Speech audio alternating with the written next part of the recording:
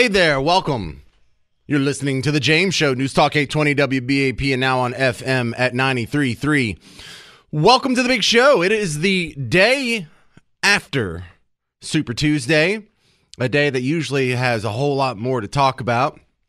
But in this, the strangest election of your entire life, you know, you, we already knew who was going to win, both uh, from both parties. In fact, we knew before the fo- first vote was cast. We're all just kind of going through this formality, thinking, well, maybe a, something pops off or something goes a little haywire. Maybe it won't be a rematch. No, y'all, it's pretty obvious. We're getting a rematch. Here to talk about it, a political strategist with America's First Works, Ashley Hayek. Welcome back to the James Show, Ashley.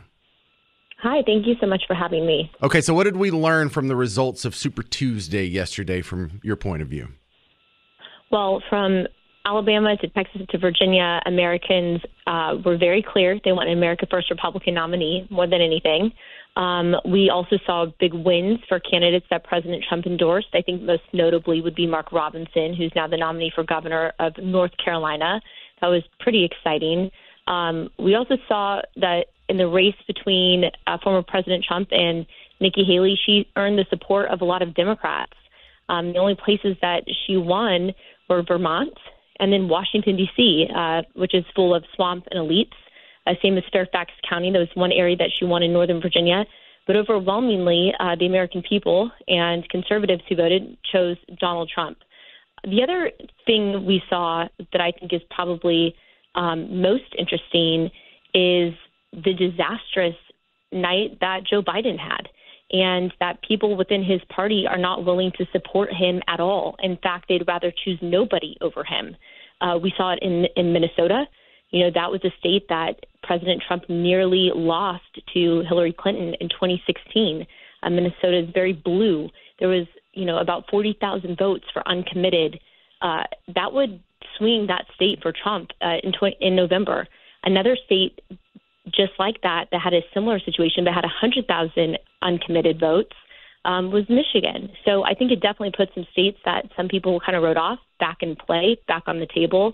Um, and anything is possible as we work up to November. So Nikki Haley drops out. What does that mean for the rest of the way going forward? I mean, th- th- there's no point really for anyone to campaign in any of these places anymore. I think everyone's going to be focused on the general election. So, absolutely, campaigning in all of these states is going to be important. Uh, there's still two states that are coming up that are considered battleground states Georgia, um, also Arizona. President Trump also endorsed a number of candidates in Texas, right, for the Texas state legislature. And so, some of those candidates, four of them, I believe, have a runoff now.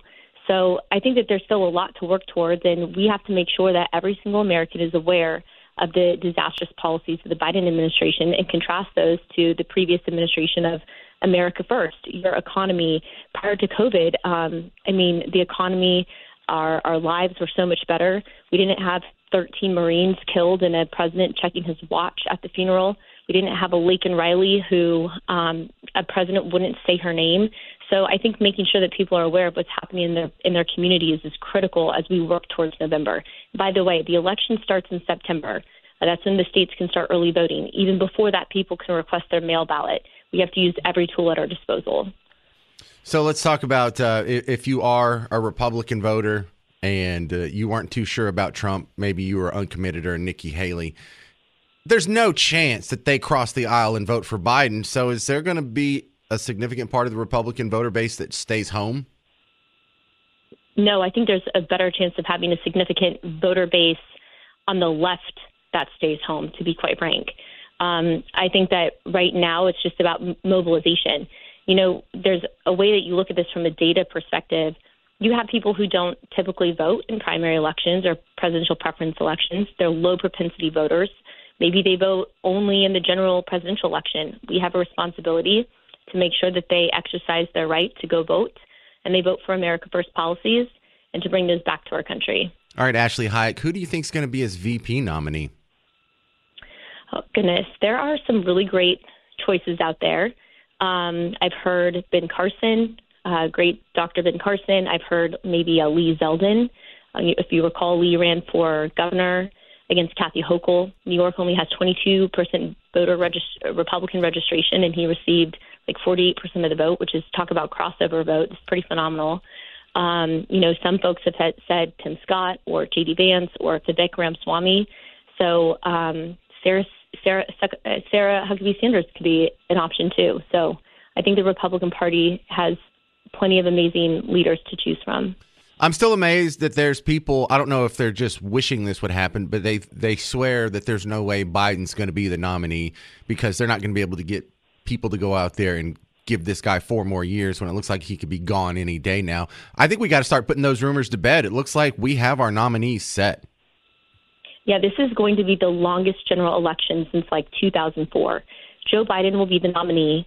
I I cannot imagine being anybody else. I think there's a huge risk if they try to replace him as well because Kamala Harris, if she is not then the nominee, um, it'll divide the party even further, and that's not something they can afford at this point. So he'll be the nominee. He stayed in his basement the entire election in 2020 as they changed the voting rules, uh, you know, to their advantage. Now we know the rules. We know how to play. We're being very um, aggressive on election security and election integrity. I think this is a huge opportunity for conservatives. Yeah. Well, part of me also thinks that Kamala, you know, while she doesn't poll that well, she might get more votes than Biden does. There, there are people who would come off the bench and vote for her, and who wouldn't be so excited about Biden. I mean. I didn't think that six months ago, but I'm I'm leaning toward maybe he does step aside and she steps up. Well, and then the left has a motto, motto, and it's vote blue no matter who. And for the past 20 years, they've had a machine in, term, in terms of turnout. The left has all the same policies. There's not any particular, you know, shining star that's like, you know, championing anything that's America first. Um, and there are some Republicans that fall in that bucket too, like Mitt Romney. Thank God he's on his way out.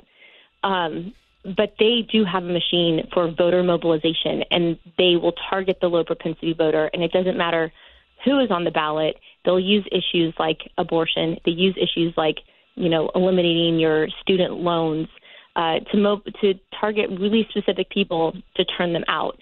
And we have an obligation to make sure that we are working in our communities to turn out our voters as well.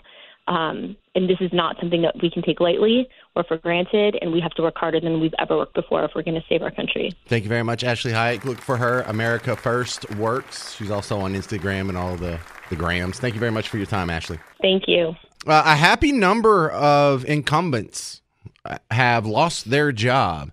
And this is uh, the interesting part because that means the people in these positions, the, the voters in their jurisdictions, they liked the party that they were in. They just didn't like the job that they were doing. These are these are more rare than it should be.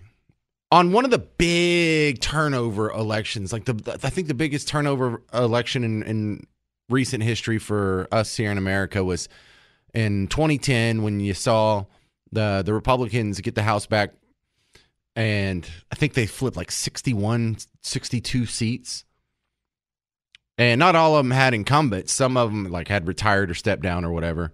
But um, flipping 62 seats, I remember that was the biggest turnover since like the 30s or something crazy like that. But we still had 80% or so incumbents win their election. So a huge, massive, wildly successful turnover is if you can knock 20% of people out of their seat. So that lets you know how absolute rare it is for incumbents to lose. And you know usually they just swim with the tide. They just ebb and flow while the pendulum swings. Like this election is a little more better for the blue team. This election is a little more better for the red team. And it doesn't really matter the nuance of who's going in these seats. As long as if your district is red and you're wearing a red jersey then you should be a pretty safe guy. This bucks that trend. Wow this is the hard grinding work that actually makes democracy not a joke so, first off, congratulate yourself. Uh, so, let's look at some of the people that did knock off incumbents. One of them is one of our neighbors here in the Dallas Fort Worth area. You remember Shelley Luther? Do you remember Shelley Luther? This was during the COVID lockdown. She had the hair salon. She refused to shut it down. She got arrested, got taken to court, had to wear nice little pantsuit in court with the mask on, fighting for the rights. Well, she stepped out into the political arena, has gone from a business owner to attempted politician, and now Representative elect Shelley Luther. This is from WFAA. Remember Shelley Luther? She's the former Dallas County salon owner who made those national headlines for defying COVID 19 shutdown orders. Well, she won her primary race over the incumbent for Texas House District 62. That's along the Red River. It's a slim margin, about 2,000 votes, but she'll face a Democrat in the fall. All right, well, that sounds good. Someone who's not a career politician, someone whose career ambitions wasn't to go seek out political power and wield it, and she doesn't think being a politician is cool. She's doing it. She's she, her hand was forced into the political arena. You know, it's like Mel Gibson from The Patriot. He didn't go out trying to fight the British, but you know, F A F O. So we have uh, Shelley Luther knocking off one of the incumbents. And then I saw two different reports this morning. One of them said nine incumbents got ousted uh, and for the Texas state representatives. Another one said eight. And it's, another one said, well, there's four more that are forced into runoff. So there may be even more. And I didn't quite catch what the final tally was. And I mean, I'll try and get that before the end of the show. But, you know, the, the point is, is so many times we're like, well, we got to get rid of that guy. But when it comes down to November, it doesn't matter who won the Ted Cruz primary today. You're probably going to vote red. And the same people that were going to vote for Ted Cruz will vote for the other guy that's in there. And the same people that were going to vote blue, doesn't matter if Colin Allred won, which he did. Colin Allred won. And uh, so it'll be Colin Allred versus Ted Cruz for the Senate seat. But uh, Team Blue, they were going to vote for Team Blue, no matter if it was Colin Allred or someone else you didn't know name before two days ago. So this is where actual policy changes can be made without people losing their seat. And you know, this is if you want to have a healthy Republican Party or a healthy Democrat Party, you got to let people's voices be heard, or you're going to disenfranchise these people when it comes time to vote in November. Uh, I've been having a lot of fun with the reaction. You know, I'm kind of a snarky guy that likes to laugh at people when they're upset. but I want you to. I, I want to start with uh, Rachel Maddow, MSNBC host who, uh, when Trump came out and was giving his speech, you know, about winning, she cut him off because, you know, we just can't broadcast this guy's lies. I just love these people. They're so, they work themselves up, I think. And we have no choice. Yeah, okay. Um, you know, it's, it's, it is, uh, okay.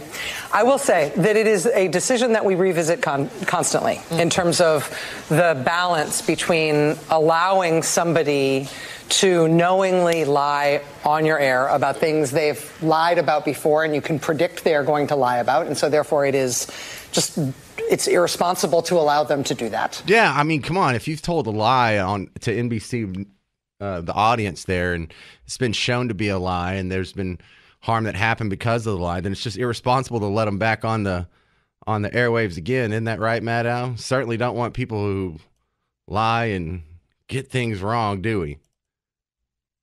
Right? Instead of the virus being able to hop from person to person to person, now we know that the vaccines work well enough that the virus stops with every vaccinated person. A vaccinated person gets exposed to the virus. The virus does not infect them. The virus cannot then use that person to go anywhere else. It cannot use a vaccinated person as a host to go get more people. That means the vaccines will get us to the end of this. Oh no, look, she got some things wrong. Better cut her off and not let the people hear and judge for themselves what your political opponent might say. No, you don't cut him off because he says things that turn out to not be true later. You cut him off because you can't really tailor the narrative if you let people hear what comes out of his mouth in context it gives you lose the ability to control what they hear from him they might hear something they like they might hear a debunking of some lie that you've been telling all this time oh this it's just funny though rachel maddow. Oh we can't we can't have this guy on. Can't be trusted. Tells too many lies. Yeah it says the people who told us Jussie smollett got attacked. Sure. Like this is an example. The shelley luther winning her race is a multifaceted one. She was someone who wasn't into politics and wasn't even really politically involved until she got jailed for keeping her salon open during COVID. And then she's been she's there, there there's a couple of touch points on her campaign that sort of make this um, a sort of a weather vane that you can watch because she ticks a few boxes. Number one, she's big into school choice. In public statements, she's talking about working with Governor Abbott if she gets elected. She's a big pro uh, school choice, and that's a big one. That's a big one with voters. It's a there's a big disconnect there because more than sixty percent of voters in Texas say they want school choice, but that's not what their representatives in the Texas House voted for. So, are we fixing that disparity? On top of that, the guy that she was going against, not only is he an incumbent, he beat her a couple years ago. This is a rematch. Reggie Smith. Now Reggie Smith, long t- um, I don't want to say long time incumbent, but incumbent period. That's that's another cycle breaker there with a newcomer, non-political person, never held office before, knocking out an incumbent. But also Reggie Smith is in the Dade Phelan faction of the Republican Party down in Austin. He slow walked several bills that hardcore conservatives thought um, were important. He also voted to impeach Attorney General Ken Paxton your neighbor up in McKinney. And so these people had uh, increased scrutiny because of those votes, because of that whole circus that we had to watch. Well, she checks all those boxes and she won yesterday. So that gives you an idea of what what the party within party politics, what the Republicans are doing. So let me show you how this ticks with what happened in other states because another win that's getting a lot of attention is in uh, North Carolina, the run for lieutenant governor. The guy who just won the primary is Mark Robinson. Mark Robinson. It's like James Parker. It's like just a perfect generic American name. You don't know what accent he has or the color of his skin or whatever. You just know he's probably from America. Mark Robinson. Uh, well, he happens to be a, I think he's a black pastor because in this clip that went viral last year, they pulled this out to undermine his campaign, and it helped his campaign. This was him talking about uh, gender issues in front of a black church in North Carolina. Mark Robinson. Here's something else I'm not supposed to say. Ain't but two genders.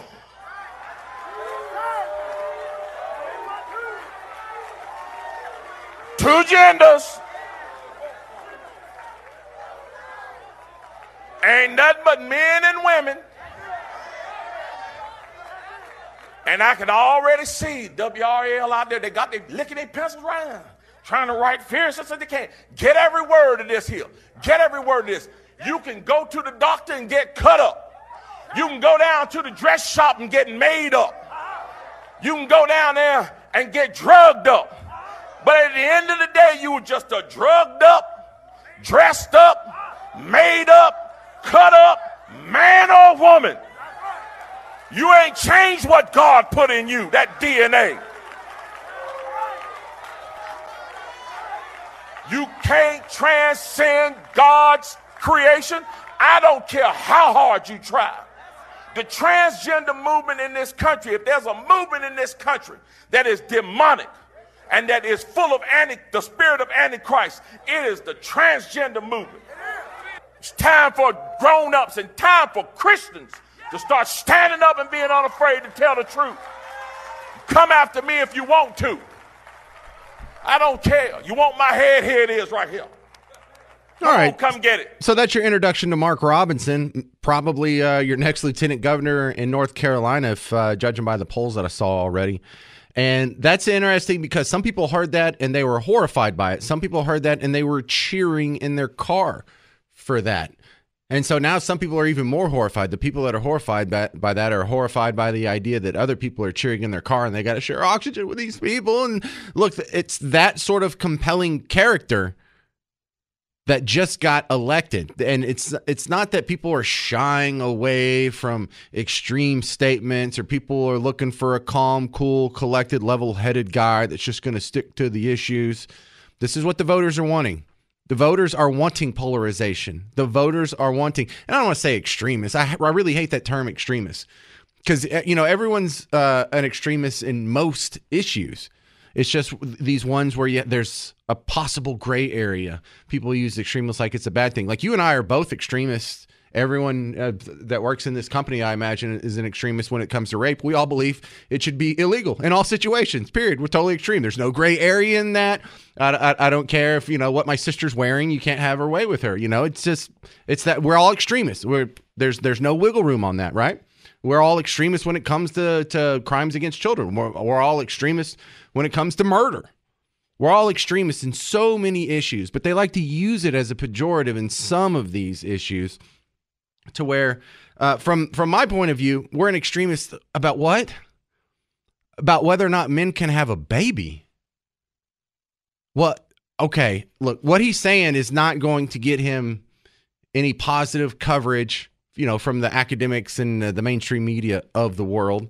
But that's something that didn't have to be said 10 years ago, or definitely not 20 years ago, whenever you were a kid.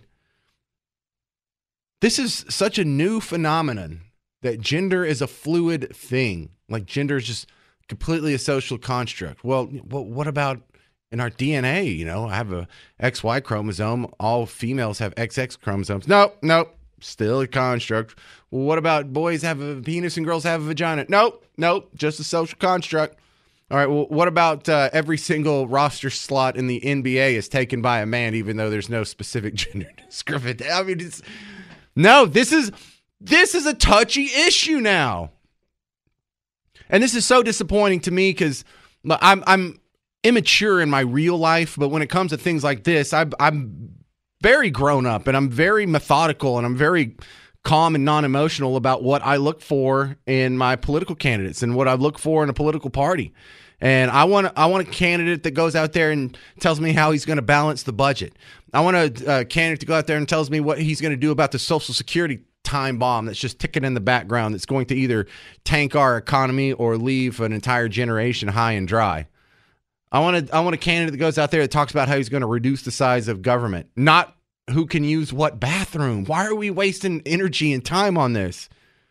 You know, and even on the stuff like uh, that, that no one agrees with me on, that's uh, sort of more liberal stances of mine. Like I disagree with drug prohibition. I think you know not only should weed be legal, but everything should be legal. Everything should be over the counter. No, no one's talking about that either. What are we talking about? We're talking about gay books in elementary schools. Like this is this is makes me want to bang my head against a wall because I I thought silly me when I was growing up, you know, in the 80s and 90s. I would uh, I would watch the Jetsons and be like, you know, that's probably not far off of where we're going to be by the time I'm that age. You know, by the time I'm like 40, 50 or so, probably have a flying car probably have a house that's on like this pole, and if it starts raining, we can just raise the level so we're up out of the rain. I'll probably have a, a, a robot made that I can talk to, and it can help with the laundry because you know my wife and I we we don't like doing laundry. That's not how we want to spend our set. We don't want to do the dishes, but we'd probably have like a Rosie, and we could give her like a funny Brooklyn accent, and she could tell jokes, and she could help play with the kids and stuff. And my kid would be building robot dogs instead of just you no. We're arguing over where people go to the bathroom. That's where we're at now. Where dudes in a dress can go to the bathroom. And it's a contentious issue. Like it's a, it's up for debate. Like people are losing their job and getting criticized for this. This is wild, man. This is wild. But that's uh that's what we learn. One of the things we learn from Super Tuesday. What's something you learn from t- Super Tuesday, if anything? 800 288 9227. 800 288 WBAP. I'm James Parker. It's The James Show, News Talk 820 WBAP, and now on FM at 93.3. I hear some people say, well, this is the end of the Dade Phelan faction of the Republican Party in Austin and all their power. Because not uh, Dade Phelan, didn't he get knocked out? Isn't he? He's kaput from his uh, primary down in the, isn't he from Beaumont or something like that? What did you learn? 800 288 WBAP. What do you think, Thomas and Rockwall? Well, I, I just, you were talking about uh, transgender stuff, and I had a friend that had a heart transplant, and he, he, when he had it, he learned that males can only have male hearts, and and females can only have females' hearts. It's not a choice. Really? Yes, that's what the I'm doctors a, told him. I'm a little egg-headed know-it-all, and I hadn't heard that before. Well, that was. I mean, he had to have a heart, so it's like he, that's what the doctors told him. Okay, so, so uh, we will get your take was, on Super Tuesday and any uh, cardiology implant information that you got out there. Thank you very much, Thomas and Rockwall. I did not know that until just now. That's a little bizarre. So last night we had some coverage from a group called the News Agents. And I don't know, I've never heard of the News, news Agents before, uh, but they seem, from my first impression, to be like a Daily Show type where they pretend, you know, they dress nice and they get an older person out there so it's not a kid asking questions like a media outlet when politicians and public people are in a public place doing such things. And they can sneak in little joke questions. Well, it starts off fine and it sounds like a normal interview with Marjorie Taylor Greene. You know her, the the blonde congresswoman, and uh, it goes off the rails when they ask her about Jewish space lasers.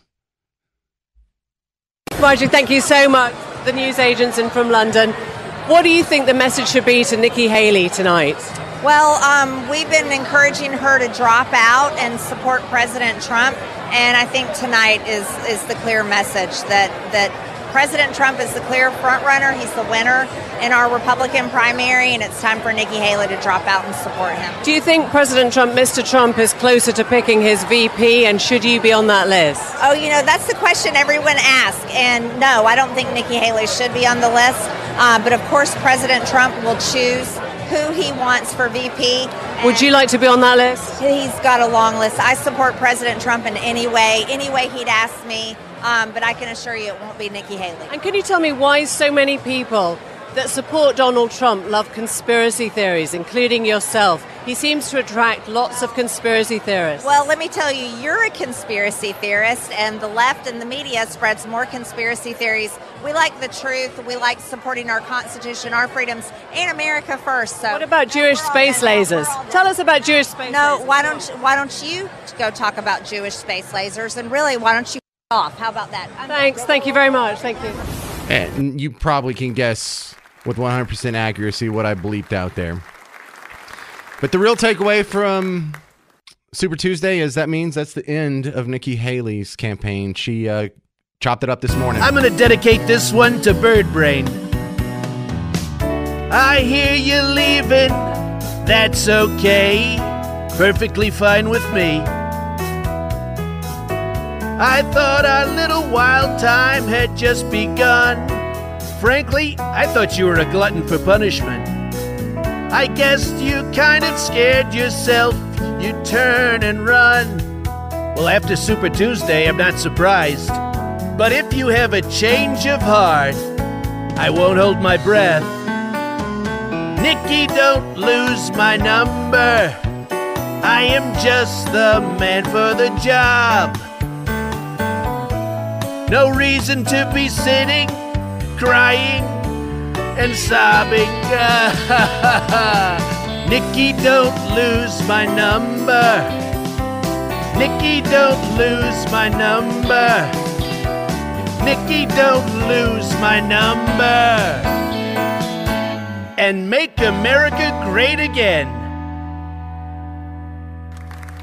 All right. Trump's got a fast turnaround on his audio production time, doesn't he? Coming up next, Tony Kinnett from the Daily Signal. He's going to talk about how much the, the teachers union spent on the elections that happened yesterday and whether or not they got what they wanted. That's coming up next on The James Show. News Talk 820 WBAP, now on FM at 93.3. I know this isn't like as important and doesn't get a whole lot of attention here, but this is like the feeder system for the real game that's happening in November. And uh, here to break it down from the Daily Signal is Tony Kinnett. Welcome to the James Show. You guys had a great rundown on dailysignal.com about how teachers' unions were spending millions of dollars in these primaries. How did it turn out for them, Tony? It was kind of a wild day. It's still kind of an investigation that's ongoing because uh, from Texas, obviously a lot of union funding into some of your Republican state legislature primary candidates, which is the weirdest group for a left wing organization to donate to. And uh, I think we can safely say that a lot of the union uh, funded GOP members have lost races, which is great. But around the country, we're starting to see kind of a growing uh, pandemic, if you will, of union funded Republican state le- legislature candidates. Right, and that used to be a, a, rarity between uh, on your report here on the Daily Signal. It says in the 2012 and 2016 elections, only 12 state teachers unions donated to Republican primary candidates for state legislatures, uh, but now it's ballooned way past that, up into the millions. And that's the insane part is that these 12 and 16 elections, uh, they were situations in which maybe they gave $500 to a candidate here or there, which is it's peanuts, right? Especially for just a little state legislature race. But in looking at Illinois and at Texas and in Indiana and Alabama, I mean, they're spending close to $110,000 per candidate on state legislature primaries because they know that in some of these deep red areas, like you said earlier, once the feeder system is all locked in, once you get out of the primary, people are just going to go to the ballot box in November and vote straight Republican. And that union backed candidate is going to get in. And Greg Abbott and all of Texas knows better than most that that can be a serious problem when it's time to pass legislature for all people in the Lone Star State. You know, I enjoy those people who are so concerned about corporate greed and lobbying and big oil and big pharma, and but they don't seem to care that uh, elections are swayed by big union. What, what what's going on there? Well, I'm a former uh, teacher and a former administrator, and I can tell you firsthand that the education system at the administrative level and above is very corrupt. Uh, I very directly was uh, I have been a target of bribery twice um, in regard to the publishing industry, but the union industry is just as bad. And so what they'll do is they'll find the most milk toast, like lukewarm water Republican that you can think of, and they will pay him to run in his race. And again, all of the primary money going to GOP candidates happens before that state's primary. I wasn't able to find one Republican they donated to afterward. Uh, and so then that Republican gets elected, and then the union just kind of tells them when or when not to vote with the Democrats, usually on education and parental rights bills. Here's another interesting thing I found in your report on dailysignal.com is uh, while they have increased their targeting of red states, they've always been going after blue states, and the two states that got the most money one is hyper blue and the other one's hyper red. Alabama was number one, Illinois was number two. So it seems like there's just sort of nonpartisan in that respect. Well, you would think so, but the money that they're pumping into, even in the blue state, is in very red areas. And as far as Alabama is concerned, the teachers union spent so much money over the last couple of years that they outspent Republicans in funding Republicans. I never thought that I would hear those words, much less write them. Uh, this is how invested teachers unions are. They know they're not going to get a Democrat across the line in some areas, so they'll just slap a Republican sticker over the guy and run him anyway. All right, so Tony Kinnett, uh, now that uh, Nikki Haley drops out, how confident are you that the two candidates are going to be Trump and Biden? Uh, I'm 99% sure that it, it's going to be Trump in November, you know, barring Republicans, you know, ability to screw things up. But President Biden, uh, I don't think there's anyone they can replace him with. But as a guy who cared for uh, my grandfather with a very aggressive late stage dementia, I have concerns that the president makes it to November. I don't say that in a, a glib or a mocking way at all. I just I'm very concerned that the president of the United States does not survive um, out of the summer. Uh, it's a, it's a very deep concern. So, if you're the teachers' unions and you got some of these Republican candidates through the primaries on your side, do they continue supporting them or do they switch and support their probably more liberal and more sympathetic Democrat challenger in November? Well, in states like Oklahoma, they're often running unopposed. So there are situations in which the union, you know, the race is over after the primary. But through all of my researching, and dude, I've looked through like 340 campaign finance report documents. My fingers are tired. Ugh. But what I was able to find out is that there was not one Republican candidate, not one in a state legislature uh, position that received a dollar from teachers unions after the state's primary date. So this is a very targeted campaign strategy by the teachers unions. Interesting stuff. Well, you guys are doing great work over there at Daily Signal, dailysignal.com. Anything else they need to know about what you're doing over there, Tony? Just that you should be reading us all the time. I got a lot of great stuff coming. Right, and this report on Teachers Union, good stuff. Thank you very much, Tony Kinnett. DailySignal.com is the website. Who do you think is the big winner from Super Tuesday? In San Francisco, they had uh, they had something crazy on the ballot. There was an option on the ballot to where you could either suggest $100 billion in reparations payments to be de- determined by some committee on reparations. You can opt to go for an apology instead of paying reparations. Just say, hey, sorry, there was some white Democrats in the uh, 1800s who enslaved you and then did segregation and Jim Crow. Well, they took the word Democrats out there, but point still stands. Or I think there was like a none of the above. Well, they didn't opt for the payments. They just opted for the apology. And okay, that's that that's cool. Still a little puzzling how a state that never had slaves is making people that never had slaves apologize to people who never were slaves. But it could have been crazy. it could have been a hundred billion dollars worth of payments. Also in San Francisco, I mean, have they hit rock bottom over there?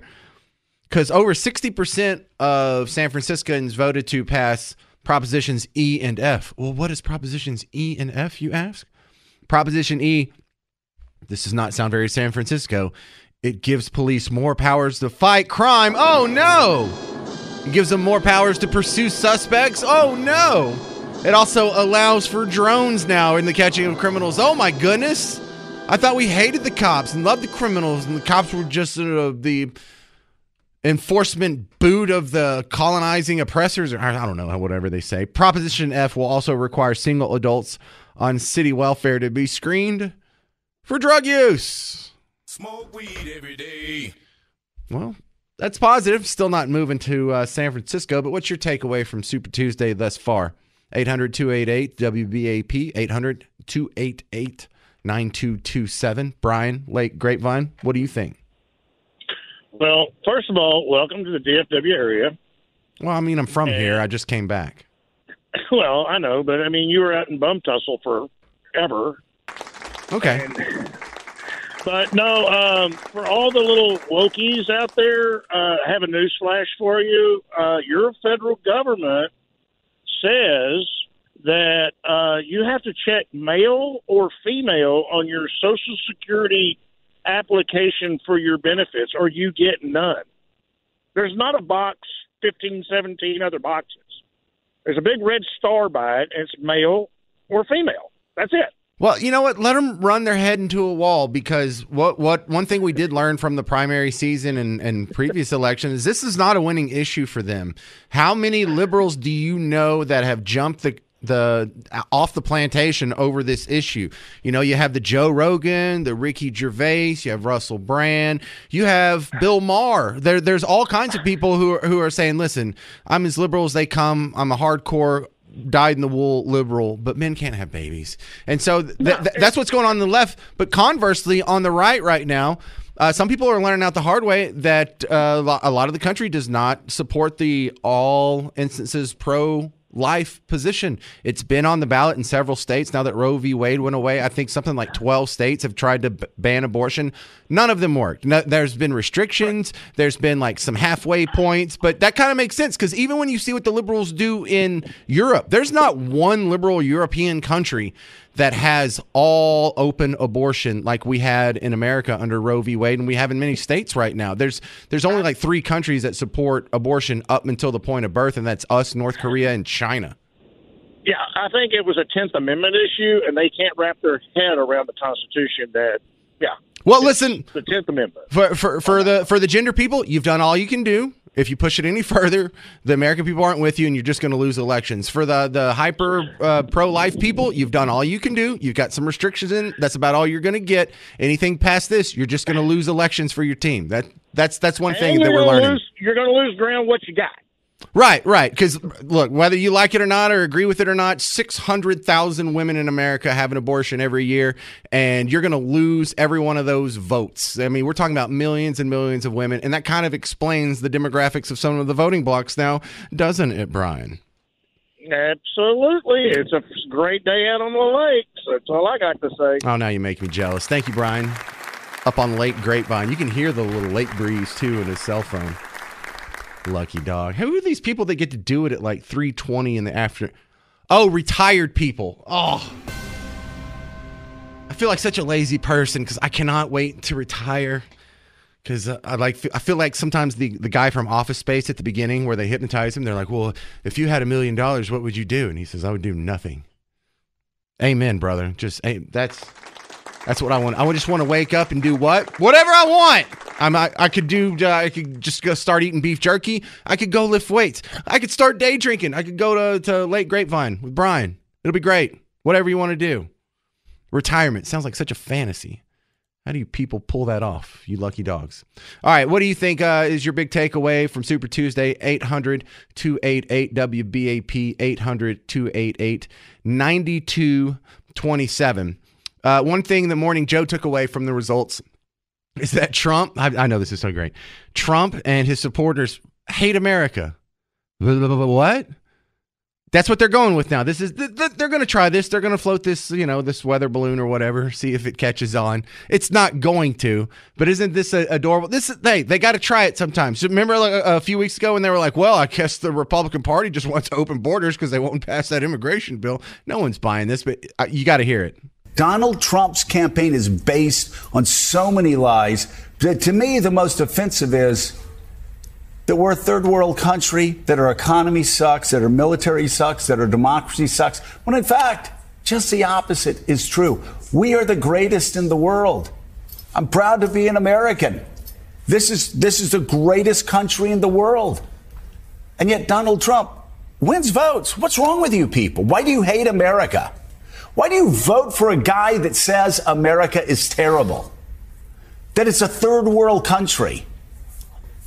When Willie, all the evidence is, is, is to the contrary. This is why they lose every year because they run campaigns dedicated to trashing the greatest country on the face of the earth. Yeah, you know those right wing Trumpers, they sure do hate America. Yeah, the, yeah, the guys that are dressed in red, red, white, and blue and waving all the American flags, they really hate this country. Not the people who think it's racist, sexist, bigot, homophobe, the capitalist robber barons are crushing minorities underfoot. No, those people love America. It's the people that want to make America great again. They, they're the America haters. Really? Like, has who hears that and is like, yeah, he's probably right. No, it's just it's I, I don't know why they do this. I don't know why they. Okay, I can I can take that back. I don't know why they do that, but I do understand the pattern that you and I have have observed. Because Trump goes out there and he takes his criticism of what Biden has done with America in his four years, and he'll say, "Well, he's crushed the economy and he's uh, done all these other negative things," and they're like, "Oh, why do you hate America?" They're just rebutting whatever Trump says. It's not a well thought out plan. It's not even a, an accurate reflection on what Trump supporters think. Because, you know, and for the other 364 days a year up until this morning, the, the message has been that we're a bunch of jingoistic nationalists. Uh, who's a nationalist now? Christian nationalist, white nationalist, capitalist nationalist, whatever nationalist. Now, what, are you a nationalist now? Is that what you're saying? Because you could just turn it right around on Morning Joe. Oh, really? This is a great country? The country of racism and segregation, the country of that won't let people go to the bathroom wherever they want to go. The people that half of us hate genders and hate women and hate uh, minorities, but but this is a great country. You want socialism because capitalism just drives poor people into poverty and gives them a hellish existence. We we we like flooding the streets with guns, but you, this is a great country. So it's so disingenuous, but it's funny listening to him. Because really, is that going to fly? Because what do you see when you go to Trump rallies? You see American flags. You see people in American flag shirts. You see people wearing American flag hats. They got American flag shoelaces, probably. They got the Zubaz pants that are American flag, like uh, like Rex Kwon Do. Remember Rex Kwon Do from uh, Napoleon Dynamite? You think anybody wants a roundhouse face kick to the face while I'm wearing these bad boys? This is what Trumpers are dressed like. But he's trying to make the case. Oh man, these people just these they really hate the country. What do you mean? All these patriot groups? They have Patriot Mobile and the Patriot Party and Patriot everything, Patriot rallies that throw the word Patriot around. And it's not just about the New England football team. They hate America. Mm-hmm. Sure they do. Right. Gotcha. Sure, Joe. 800 288 WBAP, 800 288 9227. It's the James Show, News Talk 820 WBAP, now on FM at 93.3. George from Wichita Falls was on hold and he didn't stay. And I'm very disappointed because I don't know where people get this misconception that we don't like dissenting opinions on talk radio.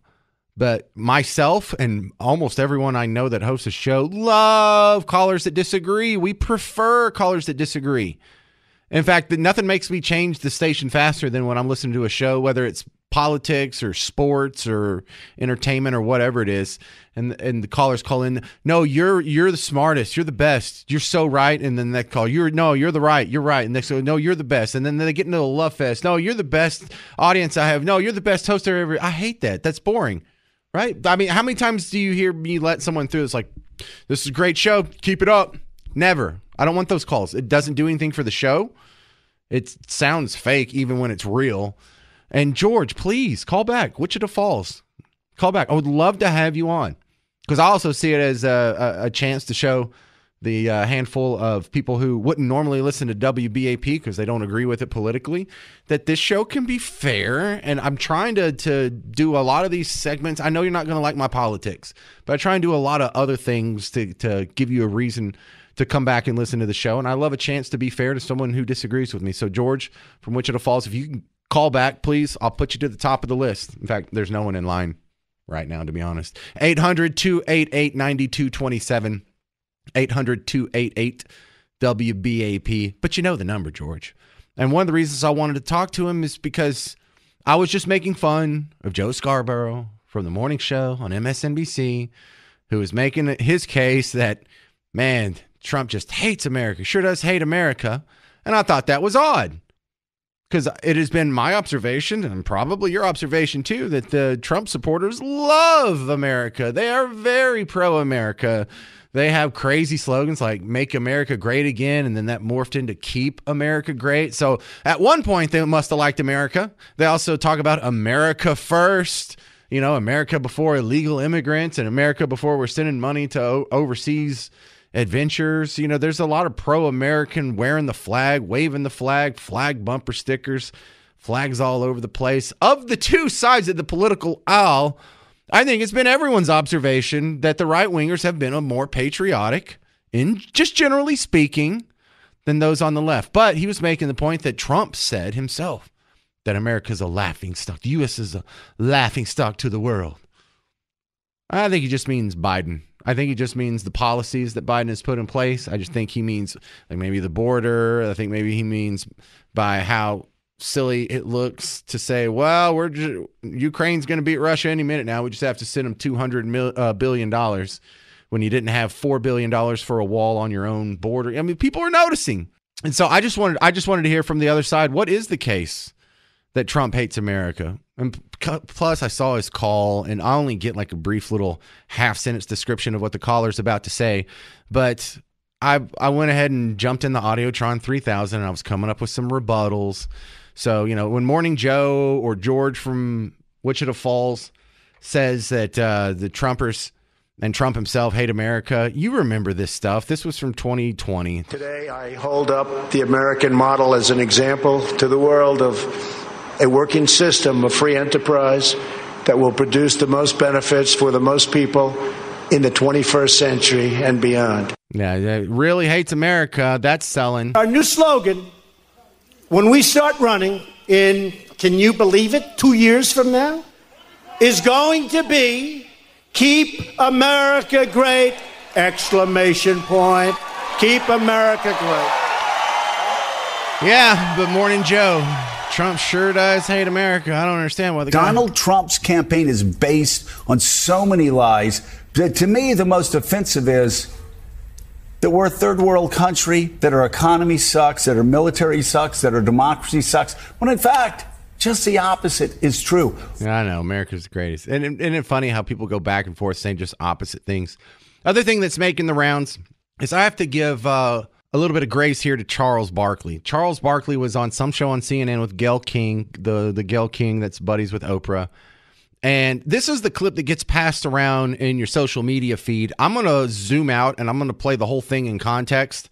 But this this is what has a bunch of people's attention right now is Charles Barkley says if someone if he sees a black man wearing a shirt with Donald Trump's mugshot on it, he's going to punch him. I'm just going to say this If I see a black person walking around with Trump mugshot, I'm gonna punch him in the face. Charles. I know, Gayle. Charles. Gayle. Gayle. Gayle You, I- you really can't say that because A, you don't mean that. oh, I mean that sincerely. Uh, no, no, uh, girl, I'm gonna punch him in the face. I eat meatballs from Nutrisystem.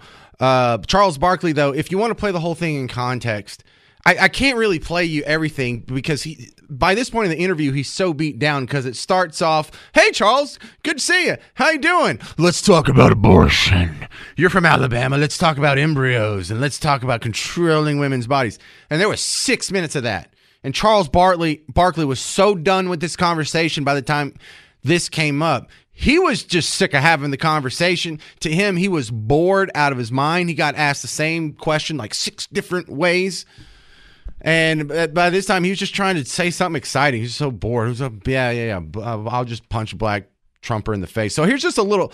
This is a little bit bigger clip with some of the context around it, and it really doesn't sound nearly as bad because no one, you don't believe it, I don't believe it. Charles Barkley doesn't believe it. He doesn't literally mean he wants to punch black people in the face that wear a Trump T-shirt. I got indicted a second time and a third time and a fourth time. Oh yeah, Gayle is playing him the uh, the clip from over the weekend uh, where he was at some uh, Blacks for Trump rally, and if this com if this, these comments upset him, I got indicted a second time and a third time and a fourth time. And a lot of people said that that's why the black people like me because they have been hurt so badly and discriminated against. And they actually viewed me as I'm being discriminated against. My, the mugshot, we've all seen the mugshot. And you know who embraced it more than anybody else? The black population. It's incredible. You see black people walking around with my mugshot. You know, they do shirts. When you heard that, what did you think? Big sigh. First of all, sigh. I'm just gonna say this. If I see a black person walking around with Trump mugshot, I'm gonna punch him in the face. Charles. I know, Gayle. Charles. Gayle. Gayle. Gayle You, I- you really can't say that because A, you don't mean that. oh, I mean that sincerely. I'm gonna just tell you something. And then you will be arrested for assault. And then what? I'm gonna bail Then what? myself out and go celebrate. if I no, Don't seriously, encourage him. Don't encourage him. Okay, but go ahead. seriously. Continue. First of all, if I was at that at that conference, I'd have got up and walked out. That was an insult to all black people. Look, he's he's not really going to punch anyone in the face. What's really going on in Charles Barkley's head is he has a cognitive dissonance on how other people haven't gotten the same sort of messaging that he's gotten. so he thinks that the Republican Party is racist and the Democrat Party is the party of good guys that protects you from racist. And if that's your worldview, you, of course he can't understand why black people would support Trump.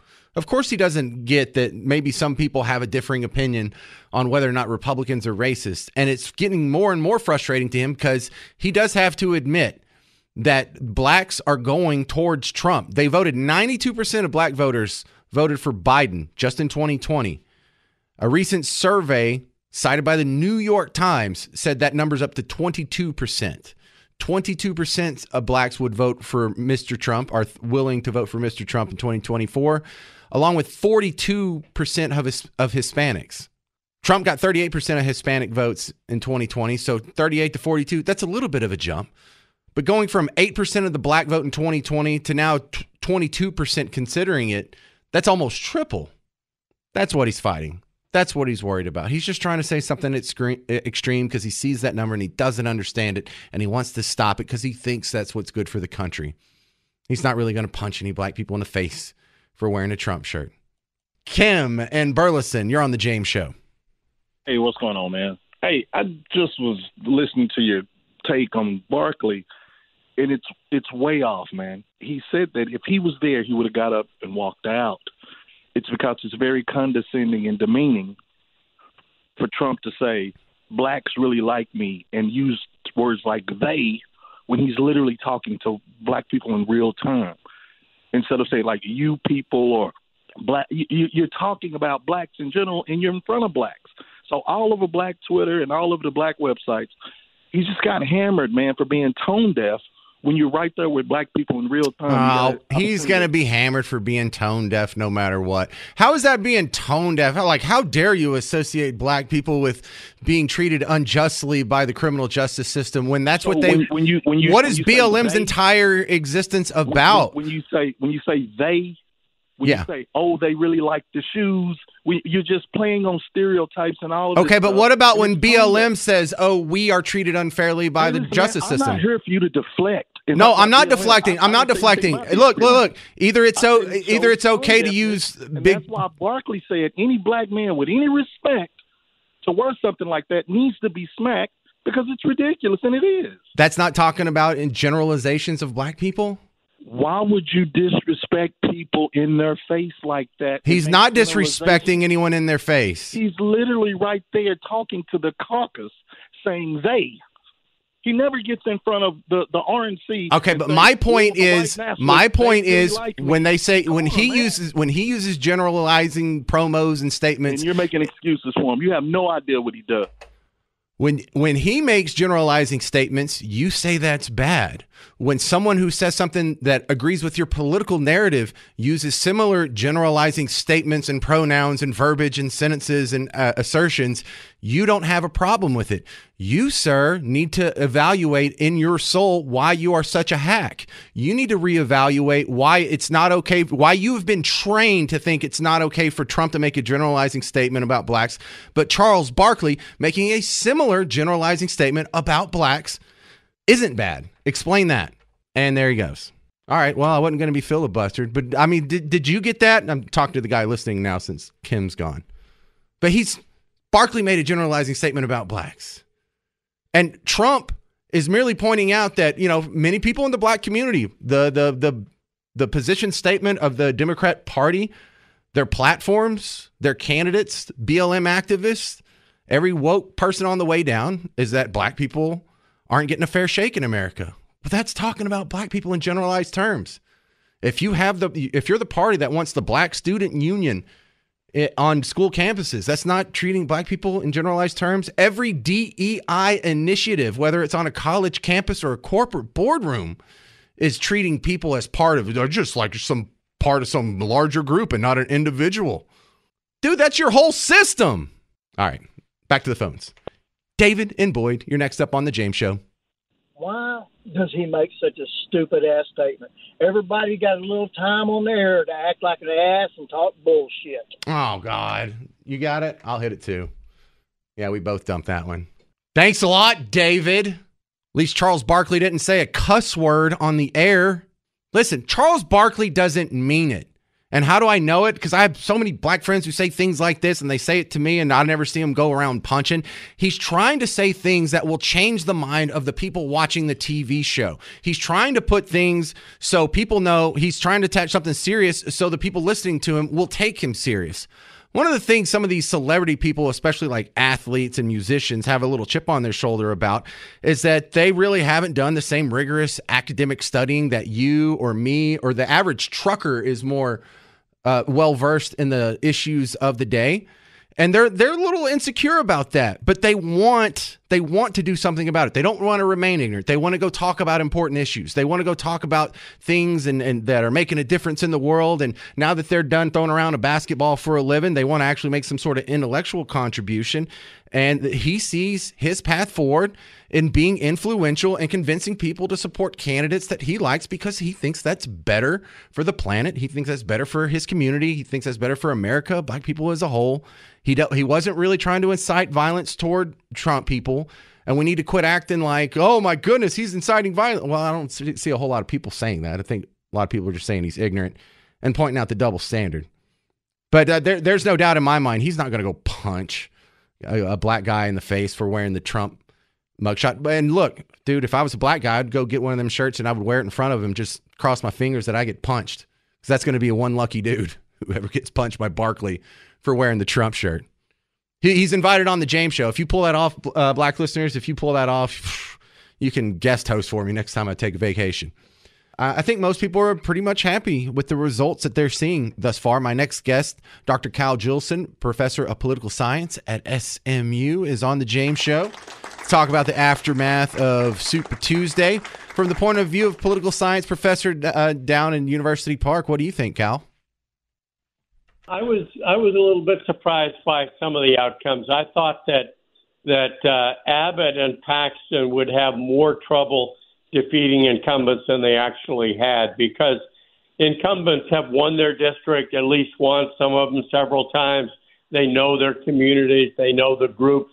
They they they work their supporters. And since they knew that Abbott and Paxton uh, were after some of them, I would have thought that they'd work hard enough uh, to pull it out, which is usually what happens.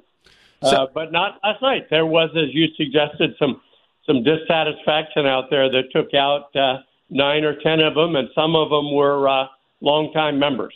And that's that's surprising. What, what's the final number here? I saw one reported eight, one reported nine. You just said ten, but whatever it is, that's more than normally get flipped from my observation. Is that has that been your experience? Oh yeah, no question about it. And and you know we don't we don't actually have a fight. We got runoffs coming up, so it's going to be somewhere in that range, high single digits, low double digits of, of people that got uh, defeated. So, you know, I, I, I was surprised by it because it is uncommon. And it suggests that there's a lot of ferment out there and that with with a lot of money, which which Greg Abbott in particular was able to get from his billionaire donors in West Texas, as well as a a guy up in Pennsylvania that shipped six million dollars down to him to support his fight for vouchers. He was able to uh, uh, to uh, to defeat a lot of people uh, last night, and so I do think he wins vouchers in the upcoming legislative session. Yeah, that seemed to be one of the two big. Uh, reasons people were hinging their vote. One was school choice, school vouchers. The other one was this intra party, intra-state feud between the sort of the Dade Phelan faction of the Republican Party of Texas and the Ken Paxton side of the Republican Party of Texas. And from my observation, correct me if I'm wrong, Cal, but it looks like Ken Paxton won.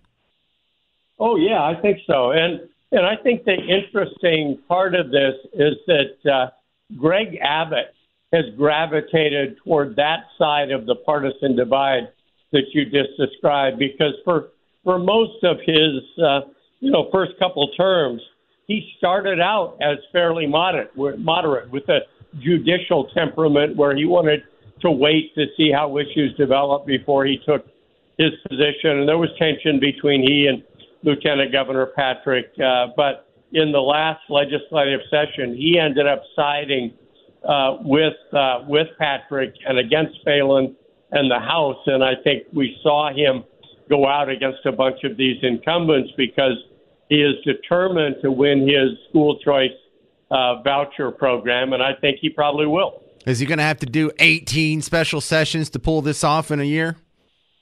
I don't think so. When you when you beat eight or nine or ten or whatever the number is incumbents, the rest of them that didn't get beat, uh, they see Jesus almost immediately, and they get the memo the next time around. And I think uh, I think they're going to be more tractable uh, for Governor Abbott than they have been in the past.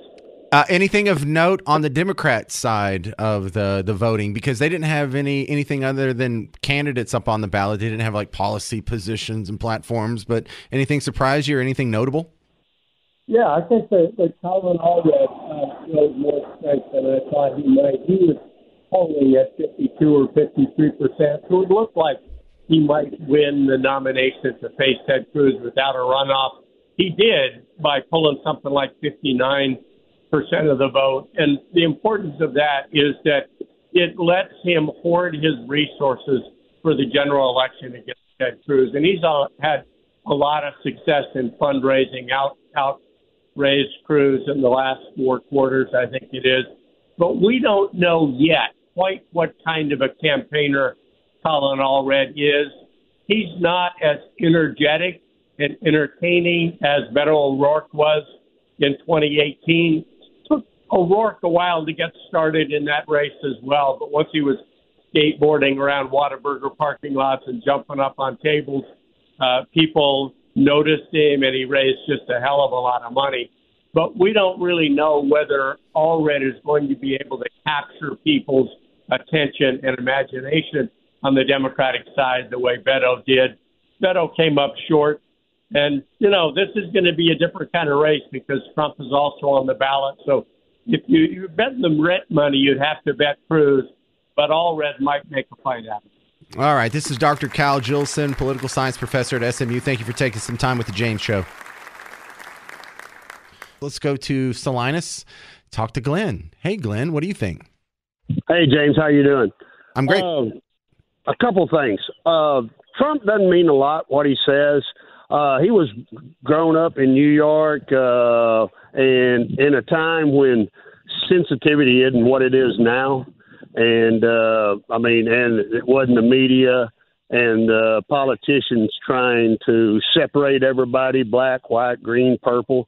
And, uh, and, and, you know, he doesn't mean a lot of things. He's, he's trying to connect with the crowd and stuff like that. Um, and Charles Barkley, he's a big mouth blowhard and a great guy.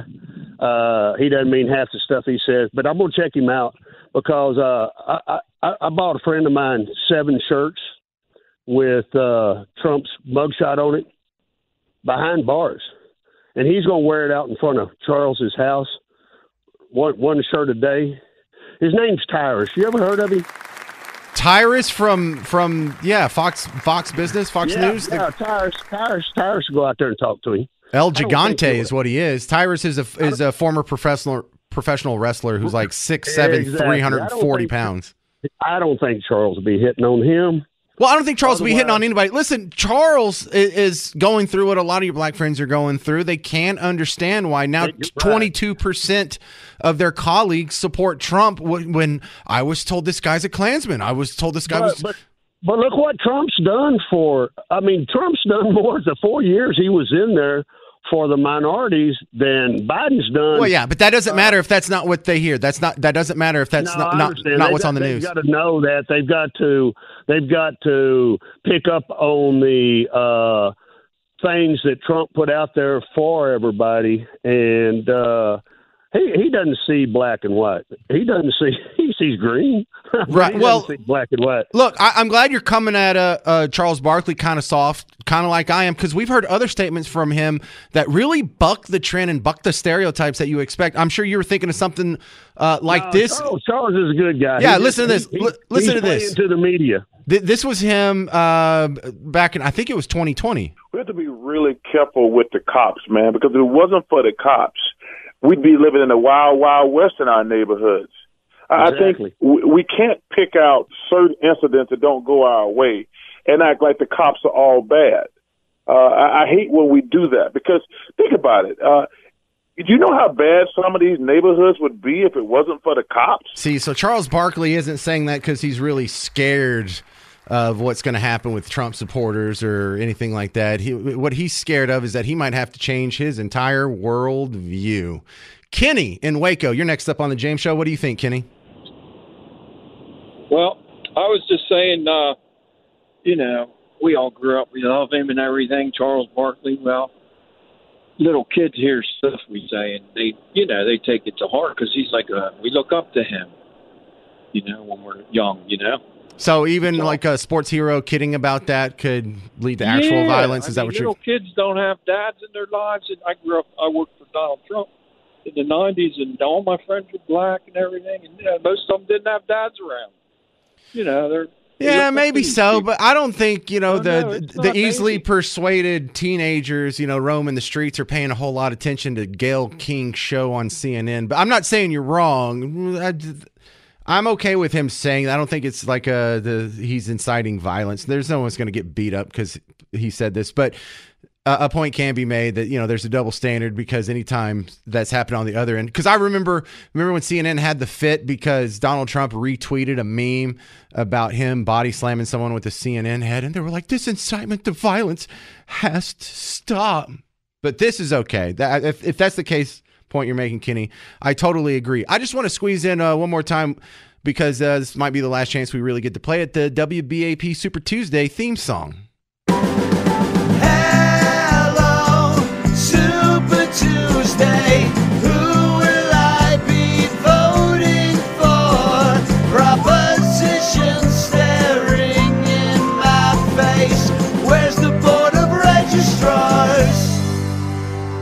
The Donald says he's the man, the one to beat. If Nikki doesn't win today, she'll hit the streets. Biden's lost and alone. While Kamala sits at home, she's just waiting and plotting. Hello, Super Tuesday.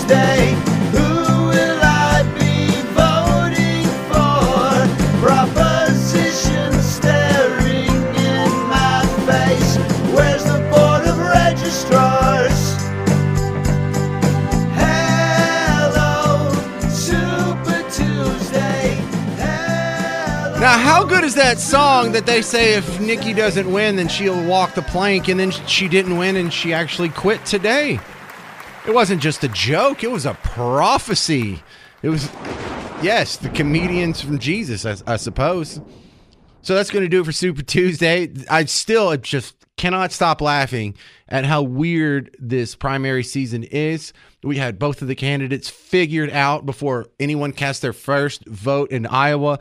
Everything is now going exactly like you thought it would. The two candidates are going to be exactly who you thought it would. This is there's been no mystery here. I mean, this has been uh, you you have never had this. You have never been going into into Super Tuesday like, well, I'm, looks like it's probably going to be these two guys. No, it was always these two guys before we even got into Iowa. This is the weirdest election you have ever seen. I mean, just just start with the fact that we have two guys that are former presidents. That doesn't happen. It hasn't happened in over 100. When was the last time that happened? Like when when Theodore Roosevelt came back uh, with it with his bull moose party and ran against Taft. That's the last time I can think of, and I'm not a historian. So what is that like? That teens. So that's over 100 years ago. So none of you were alive. I know we skew a little older in the demographics on WBAP, but not that old. Not to the immortals, not to the Highlander, maybe, if he's listening. You probably saw that.